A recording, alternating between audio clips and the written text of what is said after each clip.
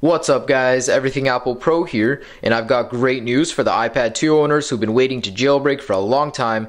Basically, Comex, the creator of jailbreakme.com, has posted a tweet not too long ago letting us know that the jailbreak for the iPad 2 is almost ready. As you can see right there, it's in response to a guy that's been bugging him. Basically, the guy said, if you have a jailbreak, please release it, I'm tired of waiting, and Comex said, it's almost ready.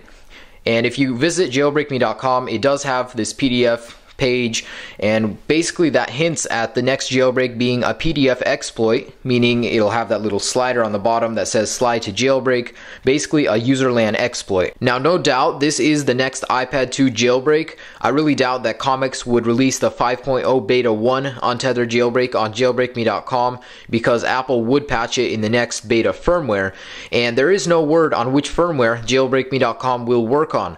So I really would stay on the firmware you're on right now on your your iPad if you didn't update to the newest firmware, just in case it won't work on 4.3.3. Now, there is no release date yet, but I'll be sure to keep you guys updated, so please subscribe. Also, rate this video if you liked it and comment. And thanks for watching this video, guys. Have a great day.